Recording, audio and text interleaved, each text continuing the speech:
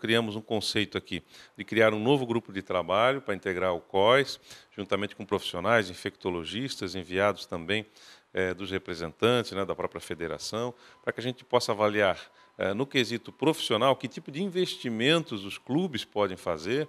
para que, de forma segura, seja feita a retomada dos campeonatos. A gente acredita que em torno de 15 a 20 dias para que os atletas estejam aptos a voltar a entrar em campo e disputar uma partida. Então, nesse tempo, vai ser feito esse estudo, esse trabalho de análise de como vai se comportar as coisas para que possamos voltar.